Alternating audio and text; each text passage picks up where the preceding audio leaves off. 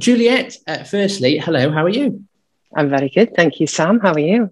I'm not too bad. Uh, and uh, I am delighted to find out, Juliet, that you are starring in Professor T. Uh, now, uh, mm-hmm. when I started seeing all the adverts for P- Professor T, um, mm. it, I looked at it and I just thought, that is my type of program. Is, is, is this your particular genre as well? Oh, no, I don't really have a particular genre. You know, I like a lot of lot of various various different things. But um, I, I am enjoying this. I've been watching it go out. And, uh, yeah, I'm enjoying it. It's good fun. It's good fun. There's a good element. There's a good balance of uh, like serious crime drama element, but with sort of some fun uh, sort of clinical psychology and fantasy sequences and like all of that, which has been a lot of fun to film. Mm-hmm. And I think that whenever you see a program like this, there's a particular mm. sort of style, isn't there? Because you've seen it in mm-hmm. the likes of, say, Midsomer Murders and Death in Paradise, and it's almost like light-hearted TV drama, but is all. Mm. Do, do, you get what I mean when I say that? Yeah, yeah, I do. I would say it was slightly more, uh, yeah, verging away from, from sort of not quite as. Oh, I don't want to say anything bad about any other program, but it's something that it's, I think there's something very, very stylish about it, especially the way it's it's filmed, the way it's shot. It's um, it's really beautifully shot, and it's and it's not twee in any way. That some of those, not saying that those ones that you just mentioned are, but they they can be, they can be quite, and it doesn't feel like that. It doesn't feel cute or twee. It feels like you know the the the the crimes are, feel really pretty real, and then the but they've got the really interesting. Um, yeah, the flashbacks and the, and the uh, the inner world of the characters, and the char- all of the characters have their own world, and they're so, so three dimensional, which mm-hmm. helps us sort of get more involved with them. Really, yeah. And I'd imagine for you as an actor, that must have been when the script came to your door asking you to be involved in this type of program, mm. this program mm. itself. That you must have just jumped at the chance. Yeah, well, you know, I, I, gave it, I gave it a good read. I mean, I didn't. It's one of those nice ones where you just open your email box and there is this lovely offer, but you don't know anything about it. So I, yeah, I, I got in touch with them all and uh, spoke a lot with Dries, the director, uh, who's fantastic. He's just brilliant. And then obviously I've already worked and with Walter, you know, and um, Jo McGrath from Eagle Eye, and all of them had good chats and um, I like I, I, like I like the idea of playing DCI. The last time I played a police officer was in a, a Lynda La Plante TV series called Supply and Demand, which was much more sort of dirty streetwise undercover cops, you know. And this is this is a different different thing altogether. But interesting to yeah to find out about what it's like to you know to go on that journey as a woman to get to that point in the police force. It's pretty tough, you know. And she's mm. she's pretty tough. She's pretty tough woman. Mm. They're going to be there's going to be people watching this who have uh, no idea what Professor T is all about, um, no idea mm-hmm. what this story is. So, um, what is Professor T all about?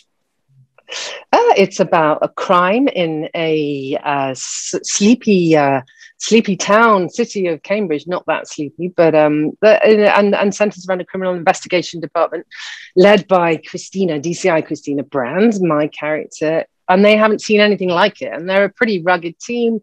There's herself, and then she's got her um, her two sort of apprentices, really, who are really young and learning, but full of potential. And then her DI, Paul Rabbit, is pretty much going off the rails. So then all these crimes start happening, and she needs to up the game, up the up the game of the team. So that's when she gets um, Professor T on board Jasper.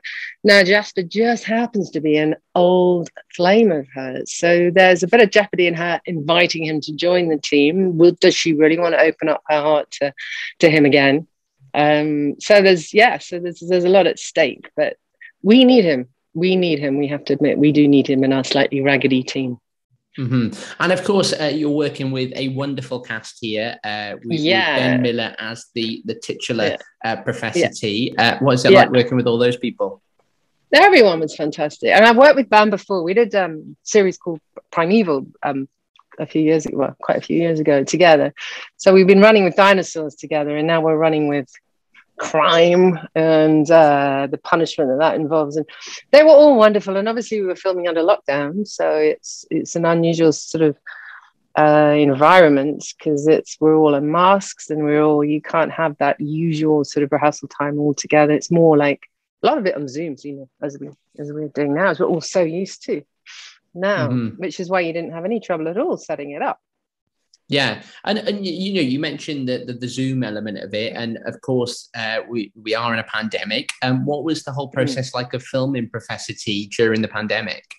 Yeah, it was tricky. We had a, an extremely scary uh, woman who used to stick like a you know brush up our nose every morning. she was terrifying, really really scary uh anyway once we once we'd done that was fine. I mean, and you rehearse with masks on and everything and then you you know you, you you take them off. But i mean things like rehearsing the tango sequence and stuff like that we we normally you would have a lot more time to to to rehearse those things and um and, and we didn't because of because of the pandemic. But um yeah, we had a lot of fun, a lot, a lot of fun with it, a lot of fun doing, and also the the, the Belgian team are incredible. So, Dries, our director, has worked loads with all of that team, and they're all really good fun, and they work really, really well together. It's quite a small unit, really slick, really fast, and and really good fun. Yeah. Mm. Did it feel slightly weird for you, kind of getting back on set after that time away? Yeah, yeah, because I've been locked in. I've, I've made a little studio, Aubrey Studios, in my in a spare in my house to do loads of audio stuff. Work when filming wasn't happening, so you're used to being quite yeah, pretty much working on your own and solo. So it's a bit overexciting to be out and about and yeah being allowed to actually communicate with people is fantastic. It's brilliant. Yeah. Yeah yeah. And um you know just finally uh, for you juliet uh, to somebody mm. who was about to watch professor t uh, yeah. what what can they expect from it? What what why should somebody watch it?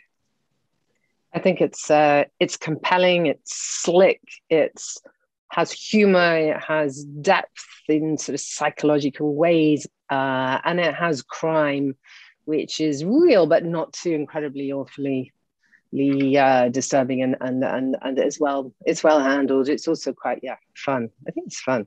I think people will enjoy it. They seem to be enjoying it so far. I'm sold. Uh, juliet from all of us thank you very much and have a lovely day. My pleasure. Bye bye